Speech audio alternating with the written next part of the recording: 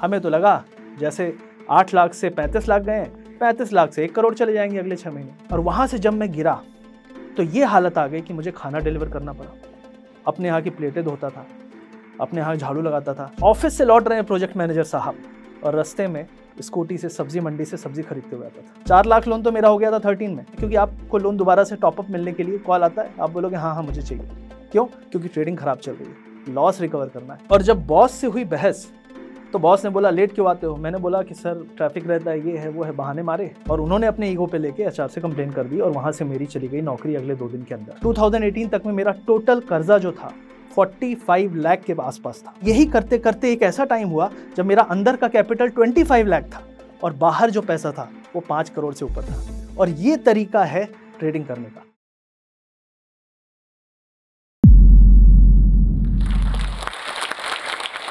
मेरे भैया जो थे वो सैनिक स्कूल में पढ़ते थे।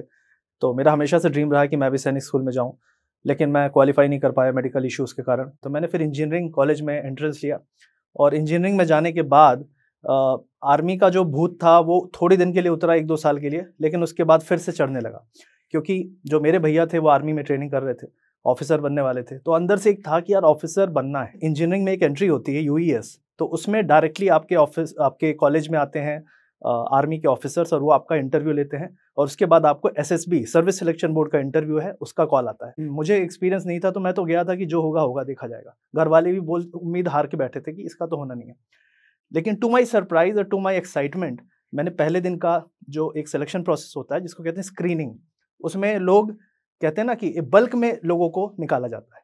140 लोगों में सिर्फ़ 20 लोग बचते हैं और उन 20 लोगों का पाँच दिन टेस्ट होता है। मैंने उस पाँच दिन के टेस्ट में पूरा क्वालिफाई किया, हर जगह में लीडर था टास्क होते हैं और उसके बाद कॉन्फ्रेंस होती है इंटरव्यू होता है, उसके बाद सिलेक्शन आता है, उसमें मैं सेलेक्ट हो गया। लेकिन यहीं पे ट्विस्ट है। अब आर्मी में सिलेक्शन हो गया, मेरे बड़े भैया ऑलरेडी ऑफिसर बनने वाले हैं। अब घर वालों ने कहा कि एक भाई जा चुका है, दूसरा भी चला जाएगा तो हमारी देखभाल कौन करेगा बुढ़ापे में? क्योंकि सबके माइंड में यही रहता है कि जब बूढ़े हों तो बेटे साथ में होने चाहिए, सहारा बनना चाहिए। और यहाँ पे मैं आ गया दुविधा में, क्योंकि मैं अपने फैमिली के बहुत करीब था। तो मैं नहीं कर पाया वो चीज़ कि मैं आर्मी से कंटिन्यू करूँ तो मैंने वो छोड़ दिया। जो आज से दस बारह साल पहले मेरे साथ हुआ, मैंने आर्मी छोड़ी, वो मुझे पिछले साल लगा कि वो सार्थक था। आर्मी मैंने छोड़ दी प्राइवेट कंपनी ज्वाइन कर ली एलएनटी में मेरा सिलेक्शन हुआ था। तो एलएनटी में जाने के पहले एक और खुशी थी, आर्मी छोड़ने का दुख भी था, बहुत ज़्यादा दुख था, लेकिन खुशी भी थी कि वहाँ पे सी जो कॉस्ट टू कंपनी दिखाता, दिखाया था, वो 3.4 लाख था। और उस टाइम पे साढ़े तीन लाख का पैकेज बहुत बड़ा होता था। और मुझे लगा, यार, मैं डायरेक्ट बारह से डिवाइड करते हैं हम लोग, जब भी सीटीसी कहा जाता है। हम ये नहीं देखते कितनी चीज़ें कट जाती हैं टैक्स कट जाता है। तो जब डिवाइड किया तो बहुत ज़्यादा नंबर आ रहा था। हमें नहीं पता था टैक्स और ये सारी चीज़ें कटती हैं।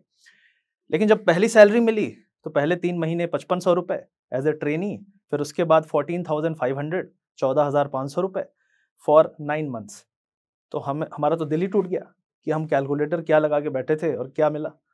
तो यहाँ से थोड़ी सी खुश ना रहने की जो एक अंदर से था ना कि सेटिस्फाइड नहीं हूँ मैं। कर रहा हूँ, ठीक है सेटिस्फाइड नहीं हूँ।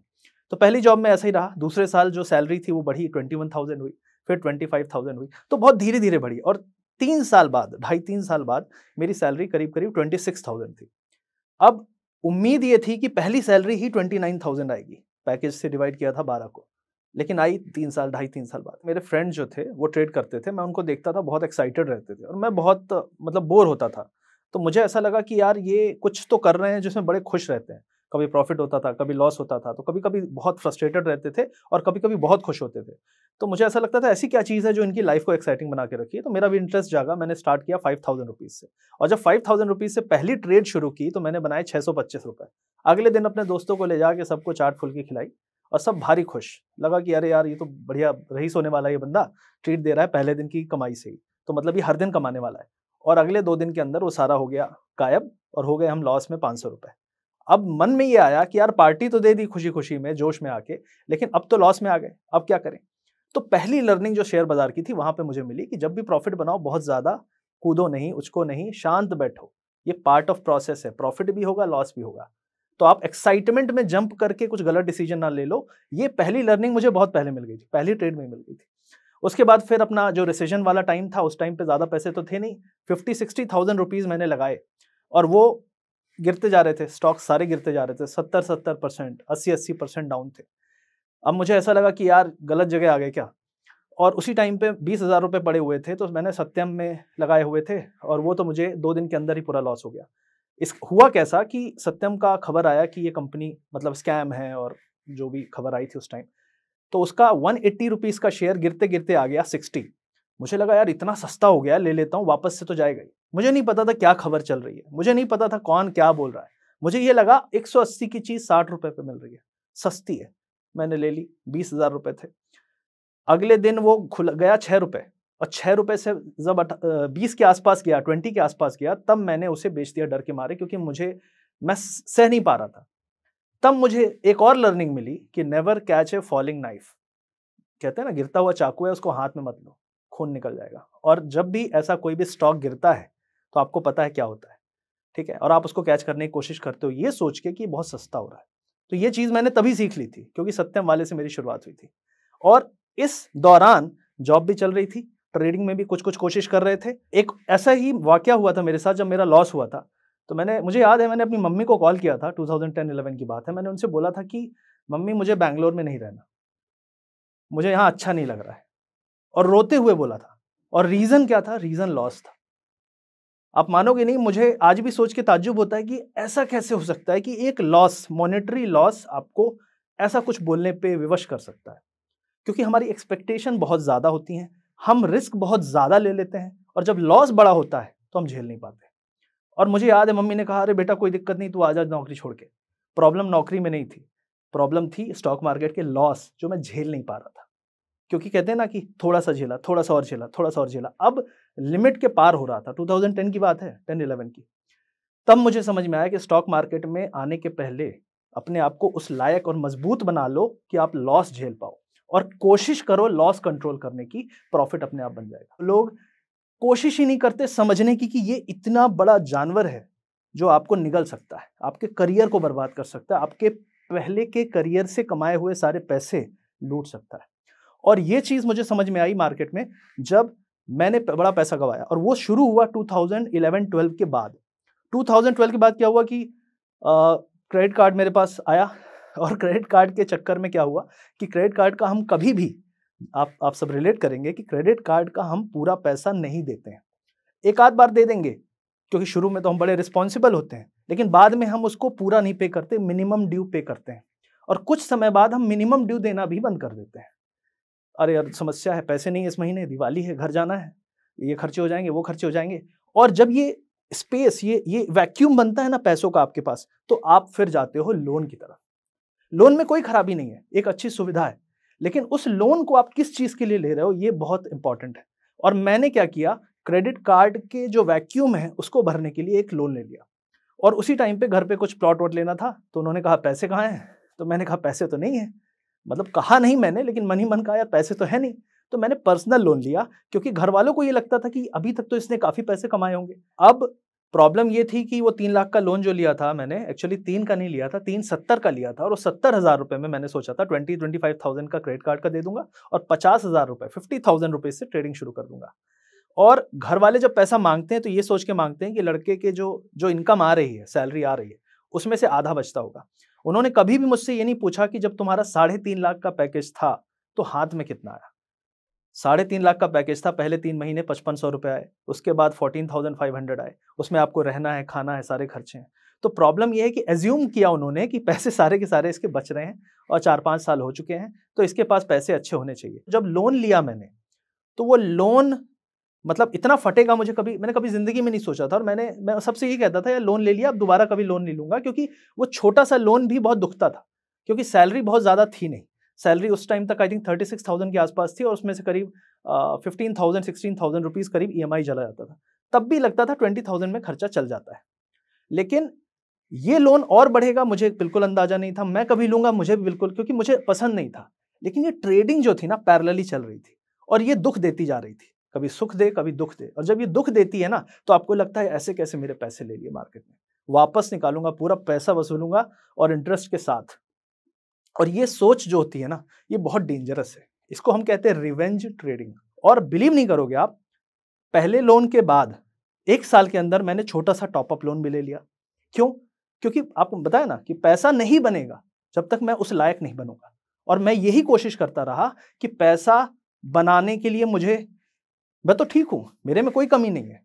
मार्केट में कुछ गड़बड़ है, मैं कल बना लूँगा, अगले महीने बना लूँगा, अगले साल बना लूँगा। बस ये करते करते करते करते आपका समय बीतता गया और ये आपको भुला देता है कि आप करना क्या चाहते थे, करने क्या आए थे, हो क्या गया।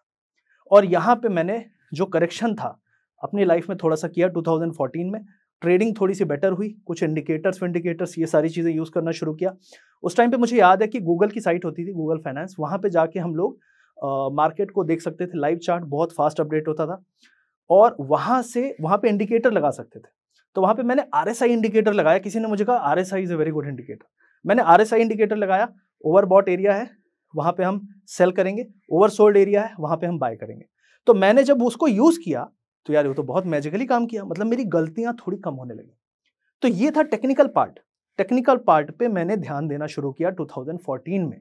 अब आप बोलोगे 2008 से 2014 क्या कर रहे थे? टाइम पास हम वही कर रहे थे जो आप बहुत सारे लोग आज कर रहे हो और सोच रहे हो कि हम सक्सेसफुल हो जाएँगे मार्केट मेरे पास उस टाइम पे लोन हो चुका था करीब करीब आठ नौ लाख का अप्रॉक्सीमेटली आई थिंक अप्रॉक्सीमेटली मुझे याद है नाइन लाख या टेन लाख हो सकता है। मैक्सिमम चलो टेन लाख मान लेते हैं क्योंकि मुझे इतना फिगर याद नहीं क्योंकि टॉपअप लेता जा रहा था ना।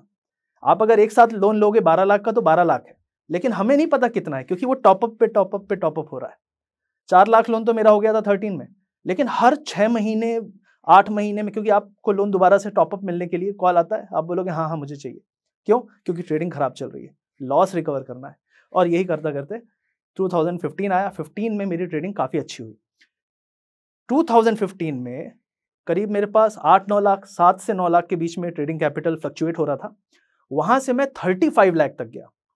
कितने दिन में? अगले छह महीने में। तो ये 2015 खत्म होते होते और 2016 आते आते मेरे पास करीब 35 लाख रुपीस हो चुके थे। मतलब मैंने करीब करीब अपने कैपिटल को चार पाँच गुना कर लिया था। लेकिन मैं भूल गया था कि उस चार पाँच गुना में एक लोन भी है। मैं भूल गया था कि मैंने इसमें इतने साल दिए भी हैं। तो उतने साल का एफर्ट प्लस इतना सारा लोन उसको मैं साइड क्यों नहीं किया? किसी ने बताया नहीं। हमें तो लगा जैसे आठ लाख से पैंतीस लाख गए पैंतीस लाख से एक करोड़ चले जाएँगे अगले छह महीने। और मुझे लिटरली बता रहा हूँ, एक करोड़ रुपए का प्रॉफिट दिखने लगा था। ट्रेडिंग मेरी अच्छी थी। मुझे, मैं आज भी कहूँगा ट्रेडिंग मेरी बहुत अच्छी थी टेक्निक अच्छी थी टेक्निकल अच्छा था। मैं पकड़ लेता था, यहाँ से मार्केट ऊपर जाएगा, नीचे जाएगा। लेकिन किस दिन जाएगा, कब भागना शुरू करेगा, ये मार्केट ही जानता है। तो दोस्तों, ऐसा हुआ कि 2015 में 35 लाख रुपीस कमाने के बाद, वो 35 लाख रुपीस कमाने के बाद मैंने वो सारे पैसे अगले एक डेढ़ महीने में गवा दिए। क्योंकि एक बहुत बड़ी अपॉर्चुनिटी मेरी ऐसी थी जिसमें मैं था। मैंने वेट नहीं किया, मैं निकल गया और मार्केट उठने लगा और फिर मैंने उसको फाइट किया। तो एक और लर्निंग यहाँ पे मिली कि फाइट मत करो मार्केट से। जहाँ जा रहा है उसको जाने दो। और वहाँ पे मेरा सबसे बड़ा लॉस हुआ। जो जॉब वाला करियर था, उसमें मैंने बहुत सारे देश घूमे हैं। आपको बता दूँ कि मैं डेनमार्क गया हूँ एम्स्टरडेम गया हूँ स्पेन में मैड्रिड गया हूँ यूएस गया हूँ। ये सारा मैं करता जा रहा था। मैं इसलिए बताना चाहूँगा क्योंकि आपको आगे जो मेरी लाइफ का पड़ाव दिखेगा, उससे आप समझ पाएँगे कि हम कहाँ से गिरते हैं। हम पहले उठते हैं और उसके बाद जब गिरते हैं तो बहुत ज़ोर की लगती है और यही मेरे साथ हुआ। जब 35 लाख मैं पहुँचा था उस टाइम पे मैं फ्रांस में लियोन नाम की जगह पे था। वहाँ से मैं आया, मेरा मन नहीं लग रहा था जॉब पे। मेरे मैनेजर ने कहा, वापस से तुमको भेजेंगे, लंबे समय के लिए भेजेंगे। ये सब कमिटमेंट हो गया था। कोई और होता मेरी जगह तो खुश हो जाता, बोलता कि यार चलो बढ़िया, विदेश में रहेंगे और बढ़िया फोकस करेंगे ट्रेडिंग में साथ में और बढ़िया, सब अच्छा रहेगा, पैसे भी ज़्यादा मिलेंगे। लेकिन मेरे मन में ये नहीं था। मेरे मन में वो थर्टी फाइव लाख आ चुका था तो मुझे ऐसा लगा कि नहीं यार, मैं फुल टाइम ट्रेडर बनूँगा। तो एक ईगो आ गया था या कह लो आप एक एटीट्यूड आ गया था, जिससे क्या हुआ, जब मैं लौट के वहाँ से आया तो बॉस से हो गई बहस। और जब बॉस से हुई बहस तो बॉस ने बोला, लेट क्यों आते हो? मैंने बोला कि, सर ट्रैफ़िक रहता है, ये है, वो है, बहाने मारे। तो उन्होंने बोला कि, ऐसे नहीं चलेगा काम। तो मैंने बोला, सर, ऐसे नहीं चलेगा तो कोई और देख लीजिए। बस वो बात हो गई, बढ़ गई। और उन्होंने अपने ईगो पे लेके एचआर से कंप्लेन कर दी और वहाँ से मेरी चली गई नौकरी अगले दो दिन के अंदर। मतलब सब कुछ ठीक चल रहा है, इतना लंबा करियर और अचानक से जॉबलेस। और उस टाइम पे मेरी जो सैलरी थी वो करीब नाइन्टी फाइव थाउज़ेंड की थी। तो नाइन्टी फाइव थाउज़ेंड की जो सैलरी थी, उस सैलरी से काफ़ी कुछ मैं कर सकता था, लेकिन उस टाइम पे मेरी जो ई e थी वो भी सिक्सटी फाइव सेवेंटी थाउज़ेंड पहुँच चुकी थी। कैसे? टॉपअप लोन धीरे धीरे मेरे एक लोन नहीं थे, फिर मैंने एक और लोन लिया, फिर एक और लोन लिया और उन लोनों को टॉपअप कराया। तो ये सारी समस्याएँ बढ़ती गई। क्यों? क्योंकि मार्केट में जब वो थर्टी फाइव लैख का लॉस हुआ ना तो उस टाइम पे मैं यही रिग्रेट करता था कि काश मैंने अपने उस लोन को पे कर दिया होता तो और लोन ना लेना पड़ता। क्योंकि अब 35 लाख आपके माइंड में छप चुका है कि मुझे 35 लाख का लॉस रिकवर करना है। और 35 लाख का लॉस रिकवर करना 2016 में बहुत मुश्किल लगता था, क्योंकि उस टाइम पे ट्रेडर लाखों में नहीं, हज़ारों में बात करते थे। आज के समय करोड़ों में बात करते हैं। तो ये हुई उस टाइम की जर्नी और उस टाइम पे क्या हुआ कि फिर मैंने जो लोन लिया फाइट किया लॉस हो गया फाइट किया लॉस हो गया। उसके बाद आखिरी आखिरी कोशिश मैंने की कि यार अब मुझे एक अटेम्प्ट और करना है और ये अटेम्प्ट मैंने काफ़ी बड़ा मारा। और उस अटेम्प्ट ने मेरे ई e को जो मंथली जो किश्त मेरी कटती थी, वो पहुँच गई एट्टी फाइव थाउज़ेंड पचासी हज़ार रुपए। जॉब नहीं है, पचासी हज़ार एटी फाइव थाउज़ेंड का ई e देना है। अब क्या करें? और बचे थे सिर्फ़ कुछ छह सात लाख रुपए। उनसे थोड़ी बहुत ट्रेडिंग करो तो लॉस ही हो। क्यों? क्योंकि अब माइंड में एक और टेंशन हो गई थी कि जॉब नहीं ई e बढ़ चुका है लोन है, आगे लोन मिलेगा नहीं, जो मिला उसको मैंने इतनी जल्दी उड़ा दिया और जो मैंने लास्ट लोन लिया था, उसको मैंने दो हफ़्ते, तीन हफ़्ते के अंदर सारा उड़ा दिया। तब मुझे समझ में आया कि यार मेरा दिमाग खराब हो चुका है और मैं ट्रेडिंग लायक नहीं हूँ। लिटरली मैंने कम कम से कम अपने लाइफ में 200 बार सोचा होगा कि मैं ये ट्रेडिंग छोड़ देता हूँ। 200 बार। और कितनी बार तो मैंने कसम भी खाई होगी कि मैं अगले एक महीने ट्रेडिंग नहीं करूँगा। लेकिन उससे लंबी कसम मैं नहीं खा पाता था क्योंकि मुझे खुद पे भरोसा नहीं था। और मैं लिटरली बता रहा हूँ, एक ऐसा समय आया जब जेब में पैसे नहीं थे और ट्रेडिंग कर नहीं सकते थे।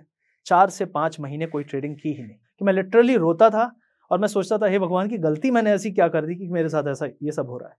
और तब मुझे समझ में आया कि भाई गलती तूने ट्रेडिंग में आके नहीं की है। गलती तूने जिस तरीके से ट्रेडिंग की है, उसमें थी। और वो चीज़ को सुधारा नहीं जब तक मैंने, तब तक ट्रेडिंग मेरी अच्छी नहीं हुई। और फिर वहाँ से मेरा ट्रांजिशन चेंज हुआ एज ए पर्सन मैंने जब ये अच्छे दिन चल रहे थे तब मैंने बाइक खरीदी थी, एक बढ़िया सोनी का टीवी खरीदा था, महँगा वाला। मैंने उसको ओएलएक्स पे डाला, मैंने बेच दिया। क्या करेंगे? तो जब मैंने बाइक बेची, उस टाइम पे मेरे दोस्त ने आइडिया दिया कि यार अपन कुछ दुकान खोलते हैं। और ये 2016 के बाद की बात है। और दुकान खोलते हैं तो मैंने कहा, यार कौन सी दुकान खोलेंगे? अब हम लोग एमपी के। तो हमें लगा कि यार पोहे बेचेंगे। पोहे बड़े अच्छे एमपी के बनते हैं, आपको पता होगा, मूँगफली डाल के। तो हमने फिर सोचा, यार पोहा एक ऐसी चीज़ है जो यहाँ लोगों को नहीं मिलती। तो हमने पोहा बेचा। फिर हमने एक बिहार के भैया थे, उनसे समोसा लिया, समोसा बेचा। सात रुपये में समोसा लो, बीस रुपये में बेचो। जो नॉर्मली होता है कि आप मैन्युफैक्चरर से कम में उठाओ, ज़्यादा में बेचो, क्योंकि आपके पास ऐसी जगह है जहाँ पे आप बेच सकते हो। हमने वो काम शुरू किया। अब इतना मुश्किल है ना इस लेवल पे ये काम करना कि पैसे बचते नहीं थे, क्योंकि आपको फिर बैंगलोर में आदमी रखने हैं, जो काम करने वाले हैं, बर्तन धोने वाला भी चाहिए, प्लेट धोने वाला, उठाने वाला। और हम नहीं कर पा रहे थे। लिटरली बता रहा हूँ, हमने जब ये शुरू किया था, हमने सोचा कि बहुत पैसे बनेंगे, लेकिन पैसे नहीं बन रहे थे। सौ, दो सौ, चार सौ रुपये दिन के बचते थे। अब आप बताओ, जो ट्रेडर पैंतीस लाख गवा के और बड़े बड़े लाखों की बातें लाखों देखे हों, वो आदमी दो सौ रुपये से क्या सोचेगा? जब हमारी दुकान चल रही थी ना, मैं हाथ में लेके पैकेट्स, मैं लोगों के घर में खाना डिलीवर करता था। किसी का घर चौथे फ्लोर में। छोटे छोटे घर होते हैं चार चार फ्लोर के बना देते हैं बीटीएम लेआउट बैंगलोर में। वहाँ पे मैं रहता था। मैं करता था। दर्द है तो क्या हुआ? करना पड़ रहा था। कोई और चारा ही नहीं दिख रहा था। किससे मांगू, क्या करूँ? मुझे लग रहा था ये लाइफ शायद थोड़ी बेटर हो जाए। शायद मेरी दुकान चलने लगे, शायद कुछ बेटर हो जाए। वो नहीं हो रहा था। और वहीं पे मैं बहुत फ्रस्ट्रेटेड होता जा रहा था। लिटरली मैंने, सारी उम्मीदें मेरी जा चुकी थी। सारी उम्मीदें मैं खो चुका था। और पैसे ट्रेडिंग के बन नहीं रहे थे। तभी आठ नौ महीने ब्रेक के बाद मेरी दसवें महीने जॉब लगी। अब दस महीने से बेरोजगार। अब लगी मेरी जॉब तो जो जॉब लगी मेरी, वो लगी आईबीएम में। और अब जो लगी थी वो थी प्रोजेक्ट मैनेजर आईबीएम में एक अच्छी चीज़ थी कि वहाँ पे आप वर्क फ्रॉम होम कर सकते हो और वहाँ से मुझे थोड़ा सा लाइफ में थोड़ी सी ब्रीदिंग स्पेस मिलने लगी। आईबीएम के साथ साथ मैं ये अपना दुकान भी चला रहा था, खाना डिलीवर करता था। ऑफ़िस से लौट रहे हैं प्रोजेक्ट मैनेजर साहब और रस्ते में स्कूटी से सब्ज़ी मंडी से सब्ज़ी खरीदते हुए आता था। लैपटॉप का बैग पीछे, आगे सब्ज़ी का झोला। ये दिन थे। आप सोचो सब कुछ रिकलेक्ट करो। इतने देश विदेश घूमने के बाद ये करना पड़ रहा है। तब मुझे समझ में आई पैसे की वैल्यू उसके बाद मैंने धीरे धीरे five thousand ten thousand rupees से अपनी ट्रेडिंग शुरू की। धीरे धीरे मुझे कॉन्फिडेंस आया। आप बिलीव नहीं करोगे, उस टाइम पे मैंने एक स्कैल्पिंग करके टेक्निक होती है, वो मैंने शुरू की। वो मैं काफ़ी दिन से करता था, लेकिन उसमें थोड़ा सा और अच्छे से डिसिप्लिन तरीके से, उसका मतलब है छोटे से प्रॉफिट के लिए, छोटे टाइम के लिए वेट करो ट्रेडिंग में और निकल के बाहर बैठ जाओ। उसके बाद देखना भी नहीं है क्या हुआ। वो टेक्निक अपना के मैं धीरे धीरे धीरे धीरे धीरे धीरे मैंने प्रॉफिट बनाना शुरू किया। टेन थाउज़ेंड से ही करता था मैं, क्योंकि मेरे पास पैसे नहीं थे। और वो दस हज़ार रुपये भी आई की सैलरी से बचते थे। किराया मैं थोड़ा लेट देता था अपने ओनर को। मेरा ओनर इतना अच्छा कि दो तीन महीने मैंने उसको बीच में बोला कि, अंकल, दिक्कत है। तो दो महीने उसने किराया नहीं लिया लेट लिया। और वो दो महीने के जो पैसे बचे, उससे मैंने ट्रेड किया। और उसके बाद मेरी ट्रेडिंग बेटर होती गई, क्योंकि मैं जब भी ट्रेड करता था फाइव थाउज़ेंड से तो मैं पाँच सौ रुपये लेके निकल आता था। टेन थाउज़ेंड से करता था, हज़ार रुपए लेके निकल आता था। अभी आप लोग क्या करते हो, टेन थाउज़ेंड से आपको ट्वेंटी करना है, फोर्टी करना है, फिफ्टी करना है, हो जाएगा, टाइम लगेगा। एक दिन में नहीं होगा, एक महीने, दो महीने में हो सकता है। लेकिन आपको गेम प्लान बनाना पड़ेगा, अपने आप में कंट्रोल लाना पड़ेगा। वो कंट्रोल मैंने लाया और जब वो कंट्रोल लाया, उसके बाद से मेरी ट्रेडिंग बेटर हुई और ये स्कैल्पिंग टेक्निक करते करते करते 2018 में मैं प्रॉफिटेबल होने लगा। तो धीरे धीरे मेरी ट्रेड अच्छी होती गई, क्योंकि मैं बहुत बड़े दलदल में था। 2018 तक में मेरा टोटल कर्जा जो था 45 लाख के आसपास था। 45 लाख का कर्जा। सैलरी कितनी थी? एक लाख पाँच हज़ार रुपये ई कितना जाता था? एट्टी फाइव थाउज़ेंड रुपीज़ कैसे मैं निकलूँगा इन सारी चीज़ों से? ट्रेड करके निकल सकता हूँ? या मेरी दुकान बहुत चलने लगे? या फिर कहीं से चमत्कार हो और लॉटरी निकल जाए? लेकिन दोस्तों, ज़िंदगी में ना, लॉटरी इतनी आसानी से नहीं निकलती। आपको एफर्ट उसमें भी करना पड़ेगा, आपको फिर भी टिकट लेना पड़ेगा उसका। और यहाँ पे लोग सोचते हैं कि यार, भगवान चमत्कार कर दो। एफर्ट आपका जब तक नहीं होगा, चमत्कार नहीं होगा आपकी लाइफ में। और मेरी लाइफ में कोई चमत्कार नहीं हुआ। ये सारे स्ट्रगल करने के बाद मैंने 2019 से अच्छी ट्रेडिंग की। उसके बाद मैंने करीब दो लाख, तीन लाख से ट्रेडिंग करना शुरू किया और तीन लाख से 2022 तक में मैंने टोटल सिक्स करोड़ से ज़्यादा प्रॉफिट बनाया। और ये माइनस फोर्टी फाइव से आया हुआ इंसान है। पहले जो मेरी सबसे बड़ी गलती थी, जब मैं थर्टी फाइव लाख गया था दो दो लाख तीन तीन लाख का प्रॉफिट दिखता था, लेकिन बुक नहीं करता था। यहाँ पे पाँच सौ रुपए का भी प्रॉफिट दिखता था ना, मैं निकाल लेता था बुक कर लेता था। और ये जो चीज़ थी, मैंने मनी मैनेजमेंट स्टार्ट किया। अगर आप मार्केट में पैसा बनाते हो तो आधा प्रॉफिट उस दिन का निकाल लो। जिस दिन आपका लॉस होता है, उस दिन मान लो धंधा है, धंधे का लॉस हुआ है कैपिटल कम हुआ है। आपके कैपिटल का एक ही मकसद है। आपके कैपिटल का जो मकसद है, वो कुछ प्रॉफिट कमा के देना, जिस प्रॉफिट से आप अपनी लाइफ जी सको। और जो प्रॉफिट कमाते हो, उस प्रॉफिट का आधा प्रॉफिट बाहर निकाल लो, उससे अपनी ज़िंदगी जियो। क्यों ट्रेडिंग कर रहे हो? ताकि लाइफ बेटर हो ना तो पैसे क्यों नहीं निकालते हो बाहर? तो ये चीज़ मैं फॉलो किया, और 2021 20 आज भी जब मैं अपना प्रॉफिट बताता हूँ तो एक दिन में नहीं हुआ। मैं आपको बता दूँ कि लास्ट ईयर जो प्रॉफिट था, करीब एक करोड़ के आसपास था, और उस एक करोड़ प्रॉफिट से मैंने अगले साल चार पाँच गुना बनाया उसका सिर्फ़ एक रीज़न था क्योंकि मैं जब ट्रेड करता था तो आप बोलोगे, यार, इसके पास एक करोड़ कैपिटल होगा। एक करोड़ कैपिटल कभी नहीं था। फिफ्टी लाख से ट्रेड करता था ट्वेंटी फाइव लाख अगर बन गया तो ट्वेंटी फाइव बाहर आ जाएगा। सिर्फ़ फिफ्टी अंदर रहेगा। और यही करते करते एक ऐसा टाइम हुआ, जब मेरा अंदर का कैपिटल ट्वेंटी फाइव लाख था और बाहर जो पैसा था, वो पाँच करोड़ से ऊपर था। और ये तरीका है ट्रेडिंग करने का। जब आपका कैपिटल बाहर होगा और ट्रेडिंग कैपिटल कम होगा, आपको अच्छा फील होगा। आप डरोगे नहीं। आपको पता है कि जो मैं रिस्क ले रहा हूँ, अगर कैलकुलेटेड है, लॉजिकल है तो पैसा बना के देगा, अगर नहीं भी देगा, पीछे रखा हुआ है। और बैकअप जो होता है, वो बहुत ज़रूरी होता है लाइफ में भी। तो यहाँ पे जब मैंने प्रॉफिट बनाया, प्रॉफिट तो मेरा अब बन गया। लेकिन एक और चीज़ मैं आपको बताता हूँ, जो मुझे अपनी लाइफ का सबसे बड़ा सक्सेस लगता है, और सबसे बड़ा डिसीज़न भी था मेरा, वो ये था कि जब मेरी मम्मी को पिछले साल कैंसर हुआ, मैंने आपको बताया नहीं, मेरी मम्मी गुजर चुकी हैं पिछले साल अक्टूबर में, जब उनको कैंसर डिटेक्ट हुआ मैं फ्री था, मैं आज़ाद था, मेरे पास प्रॉफिट प्रॉफिट के पैसे थे, इतने पैसे थे कि मैं बिना इंश्योरेंस के भी उनका पूरा ट्रीटमेंट करा सकता और रेडी भी था कराने के लिए कि सारे पैसे चले जाएँ तो भी कोई दिक्कत नहीं है। तब मुझे रियलाइज़ हुआ कि आर्मी जो छोड़ने का डिसीज़न था, वो मुझे लगता था उस टाइम पे गलत है, लेकिन ऊपर वाला लिखता है कि भाई, कल को ज़रूरत पड़ जाएगी तो कौन होता? मम्मी हमेशा बोलती थी और मैं था। तो मुझे हमेशा खुशी होगी, हमेशा ज़िंदगी में खुशी रहेगी। और उनकी ब्लेसिंग हमेशा मेरे साथ रहेगी, क्योंकि हमेशा वो मुझे बहुत मानती थी, हमेशा से याद करती थी और खुश होती थी जब भी मेरा कहीं आर्टिकल निकले, कहीं टीवी इंटरव्यू में जाऊँ। तो ये सारी चीज़ें मेरे लिए सबसे बड़ी सक्सेस है। स्टॉक मार्केट में जब आप आओगे ना तो अपनी पर्सनल लाइफ को भूलना मत। पर्सनल लाइफ को देखते रहना कि सब आपके आसपास के लोग ठीक हैं, क्योंकि अगर वो बिगड़ेगा तो आपकी ट्रेडिंग भी बिगड़ेगी। तो आई होप दोस्तों आपको मेरी स्टोरी पसंद आई होगी। आई होप आपको अपनी ट्रेडिंग जर्नी में बेटर बनने में ये मदद करेगी। अगर आपको कोई भी पॉइंट अच्छा लगा हो, कोई भी सवाल हो, कोई भी डाउट हो तो कमेंट सेक्शन में ज़रूर बताएँ। हमारा चैनल सुपर ट्रेडर लक्ष्य है जो स्टॉक को सब्सक्राइब ज़रूर करें और इसी तरीके से मोटिवेट होते रहें। ट्रेडिंग में बहुत स्ट्रगल आएँगे, लेकिन आपको फाइट करते रहना है और मैं और सारी दुनिया आपको मदद करेगी अगर आप पॉजिटिव हो, अगर आप कोशिश कर रहे हो सीखने की, समझने की और बेटर बनने की। आई होप ये वीडियो अच्छा लगा। जय हिंद।